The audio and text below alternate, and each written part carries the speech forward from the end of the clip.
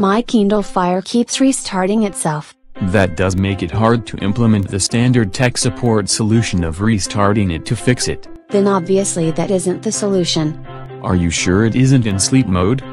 My device would have a screensaver on if it was. Then changing the screen timeout by going to More, Display, Screen Timeout and the time setting doesn't fix this. It is shutting down without warning. A timeout has a known interval and is caused by inactivity, while this has shut down when I was trying to do things. You could still try to set it to 1 hour and see if that fixes it. Or set it to never to try to eliminate it. I don't have time to keep talking about that particular solution. If you keep trying to download a large app or a piece of content and it times out in the process, it could kill the download. Then, that could kill the OS and cause it to reboot. The solution for that is to actually do something while it tries to download in the background. If it shuts itself off without warning, the solution could be doing a restart the proper way while it is up. I'll try it, but I don't think it will work. I'd have to ask if you've jailbroken the Amazon Kindle. This isn't an iPhone.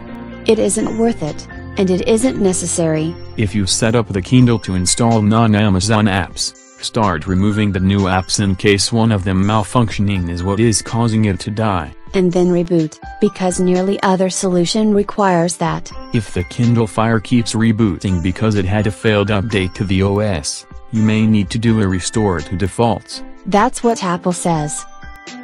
On a Kindle, you click the menu button, hit settings, hit menu, select to reset to factory defaults. If you have the Paperwhite, you have to hit the menu icon. Otherwise, the instructions and process are the same. What's another process to try? I've heard of the issue occurring when there were problems with the charging cable, especially if not OEM. I don't know if my cable is OEM or not.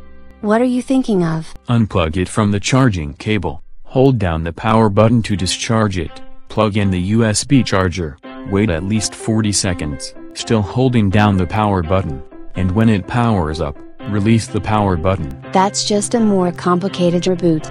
If the cable is on the fritz and supplying power irregularly, this sometimes works. If the power supply isn't regular and disrupting the processor, I may need to clean the port, get a new battery, or get a new charger. Remember that it will shut down after long periods of inactivity. You put it in sleep mode by holding down the power button. And you get out by the same. There's always the backup option of calling Amazon tech support and asking for their assistance, and you'll save time since you've already tried most of what they'd recommend.